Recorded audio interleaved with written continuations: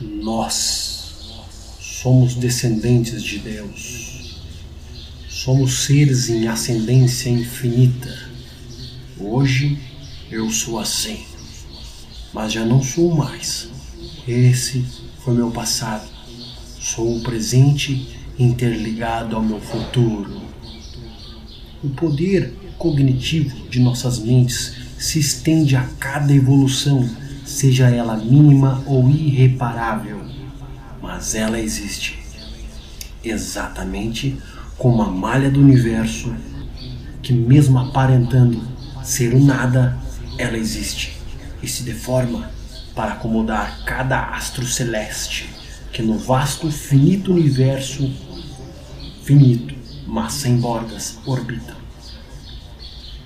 Usamos hoje a tecnologia como a dos smartphones, para transmitir o que sentimos, nos mantendo cada vez mais conectados, criando um emaranhado de informações. Descobrimos planetas, pousamos na Lua e agora iremos a Marte.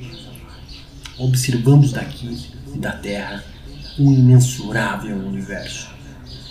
O horizonte cósmico da luz de 92 bilhões de anos-luz sendo esse colossal gigante de aproximadamente 13 bilhões de anos.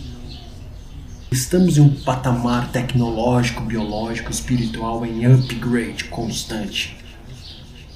Nos conhecendo de verdade, utilizando a engenharia reversa do software da biologia, somos os maestros e protagonistas do nosso presente e futuro, arquitetando bloco a bloco a construção de nossa evolução.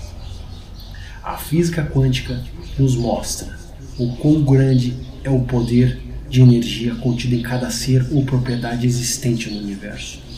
O que este poder é capaz de fazer para cada realidade que ele molda.